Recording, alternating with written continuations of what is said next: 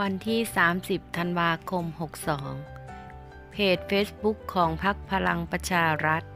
ได้โพสต์คลิปอวยพรปีใหม่ นางสาวปรีนาไกรคุปสสราชบุรีโดยเจ้าตัวได้กล่าวแนะนำตัวก่อนระบุว่า ขออวยพรให้พี่น้องประชาชนคนไทย มีความสุขตลอดปี ตลอดปีใหม่นี้ สวัสดีค่ะ สวัสดีปีใหม่ค่ะ ทำเอาชาวโซเชียลเข้าไปทักทายและคอมเมนต์กันอย่างล้นหลามภายในหนึ่งชั่วโมงมีเกือบ 40,000 วิวเลยทีเดียว มาฟังกันเลยนะคะ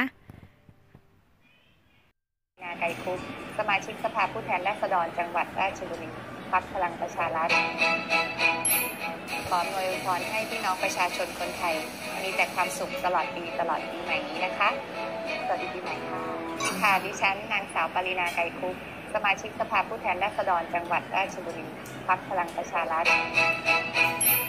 ขออวยพรให้พี่น้องประชาชนคนไทย มีแต่ความสุขตลอดปีตลอดปีใหม่นี้นะคะ สวัสดีปีใหม่ค่ะ